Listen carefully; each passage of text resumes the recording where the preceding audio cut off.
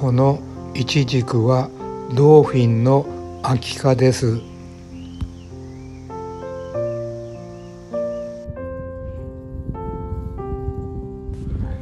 鉢植えイチジクは夏秋兼用種のドーフィンとホワイトゼノアで夏に収穫する夏科と秋に収穫する秋科がありそれぞれ収穫できます。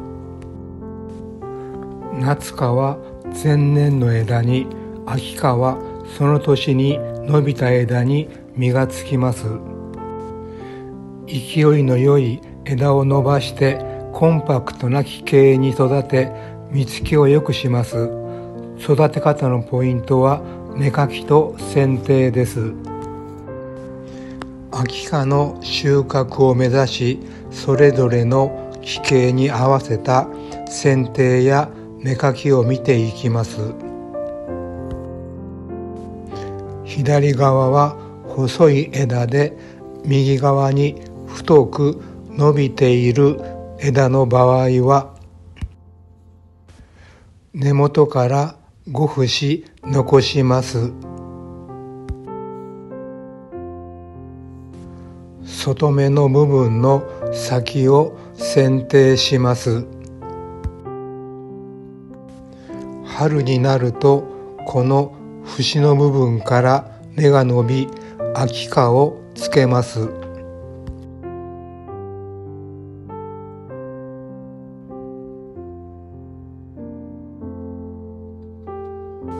4月下旬から5月上旬には芽が吹いて根から3から4本伸びてきます。勢いのある枝は剪定した後剪定前の長さ近くまで伸びてきます。勢いのある枝を3本残します。勢いのない枝は芽かきをして芽を落とすことがポイントです。5節目の外芽を剪定していきます。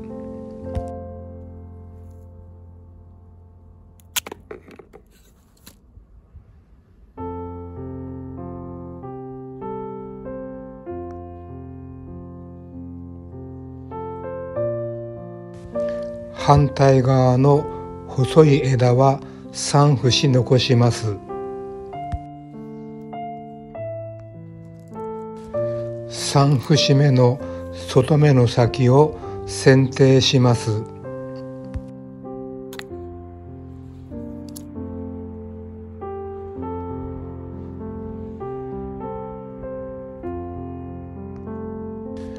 剪定した切り口は病原菌が入らないように殺菌剤を塗布しておきます。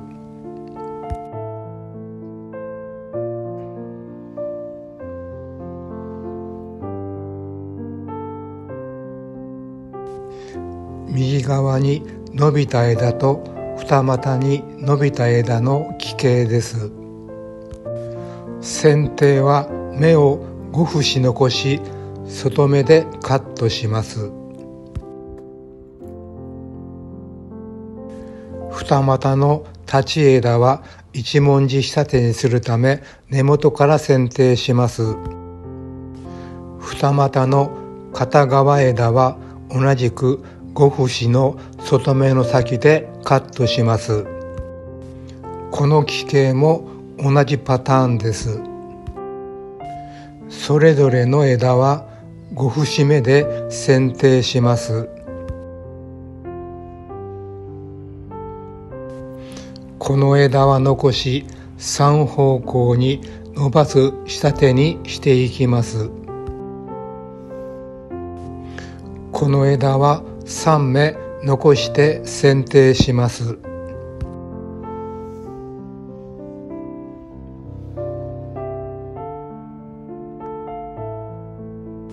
奇形が乱れたパターンです。コンパクトな奇形にするため強剪定を行い仕立てていきます。不要な枝は根元から切り落とします。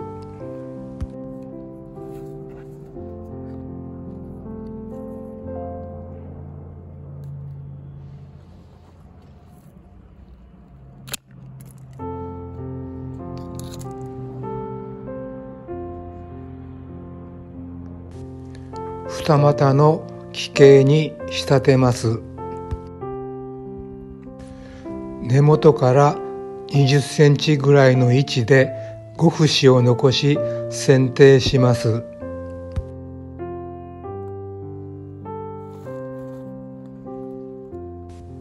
反対側も5節残して剪定します。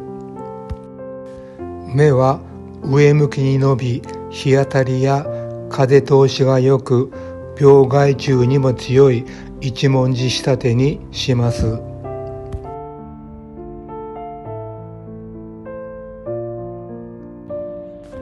秋か収穫には芽かきと剪定はセットで行う作業です。